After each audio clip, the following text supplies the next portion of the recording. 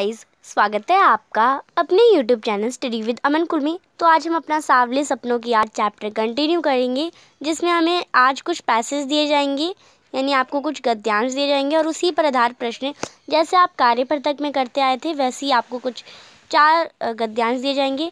तो इस वीडियो में हम एक ही गद्यांश डिस्कस करेंगे और इसकी वीडियो के पार्ट आते रहेंगे, आप उन्हें भी ज़रूर देखिएगा। तो ये एक बार और डिस्कस कर लेते हैं। इसके लेखक जाबिर हुसैन हैं और अभी तक चैनल को सब्सक्राइब नहीं किया तो प्लीज़ चैनल को सब्सक्राइब ज़रूर करें। आप वीडियोज़ तो देख रहे हैं बट सब्सक्राइब बिल्कुल नहीं करें तो प्लीज़ चैनल को सब्सक्राइब ज़रूर करें। तो चलिए स्टार्ट करते हैं। तो हमें दे रखा है गद्यांश पर आधारित बहु विकल्प प्रश्न।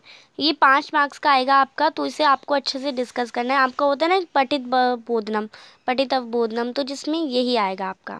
सबसे पहले हम इस पैसेज को पढ़ लेते हैं, फिर इसी पर बेस्ड क्वेश्चन है, पाँच ईजी से, जो कि विकल्प में भी आपको दे रखे हैं। तो वो और ईजी हो जाएँगे आपको तो एक बार देखते हैं। इस जूम में आगे आगे चल रहे हैं सालिम अली अपने कंधों पर सैलानियों की तरह अपने अंतहीन सफ़र का बोझ उठाए।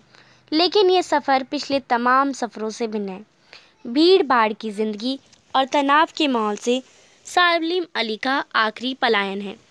अब तो वह उस वन पक्षी की तरह प्रकृति में विलीन हो रहे हैं, जो ज़िंदगी का आखिरी गीत के गाने के बाद मौत के गीत में, गोद में जा बसा हो। कोई अपने जिस्म की हरारत और दिल की धड़कन देकर भी लौटाना चाहे तो वह पक्षी अपने सपनों के गीत दोबारा कैसे जाए, गाए, गा सकेगा? तो ये आपको पैसेज बुक में से ही दे रखा है। चैप्टर के अंदर से ये आपने चैप्टर पढ़ा है तो आपको ये इंट्रोडक्शन वीडियो में भी आपको मैंने बताया था। अंतहीन सफ़र का आशय है अंतहीन सफ़र का मतलब होता है, बहुत बहुत लंबी यात्रा, मृत्यु के उपरांत अंतिम यात्रा, जंगलों में भटक जाना, हुजूम में आगे चलना तो अंतहीन यानी जब आपका अंत हो जाए तो यानी अंत यानी मृत्यु तो मृत्यु के बाद जो अंतिम यात्रा होती है, जो सब उठा के कंधे पे ऐसे लेके जाते हैं वो अंतहीन सफ़र होता है। तो ये आपका ख ऑप्शन करेक्ट हो जाएगा। अंतहीन सफ़र का आशय एक ऐसी यात्रा जिसका कभी अंत ना हो। लेखक ने सालिम की मृत्यु के उपरांत उनकी शव यात्रा का वर्णन करते समय इसका प्रयोग किया गया। दूसरा प्रश्न है सालिम अली का आखिरी पलायन कैसा था?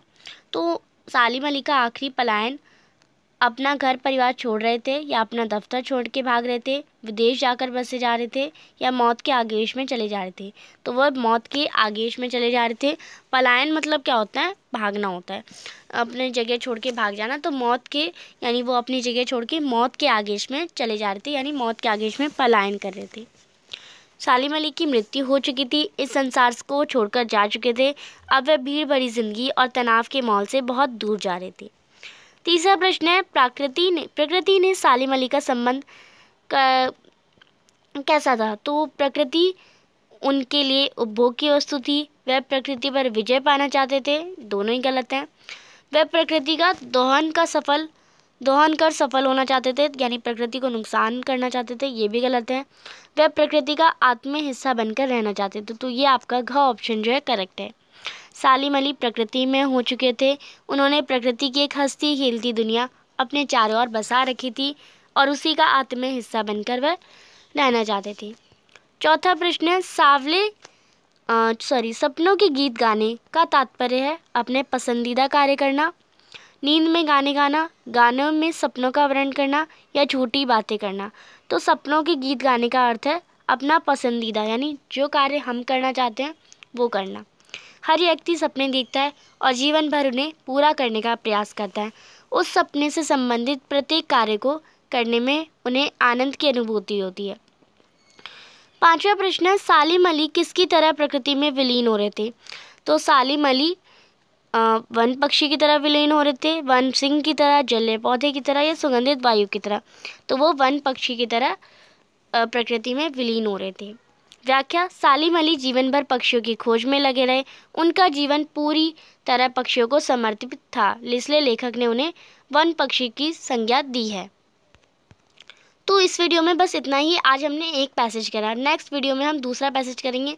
ऐसे आपको इस चैप्टर में सिर्फ़ पाँच पैसेज हैं। तो आपको अच्छे से पाँचों को देखना है। सारी वीडियोस डल चुकी है तो आप उन्हें देख लीजिए। एंड चैनल को अभी तक सब्सक्राइब नहीं किया तो प्लीज़ चैनल को सब्सक्राइब ज़रूर करें। ज़्यादा से ज़्यादा दोस्तों के साथ शेयर ज़रूर करें और प्लीज़ वीडियो को लाइक ज़रूर करिएगा। Thanks for watching you bye bye guys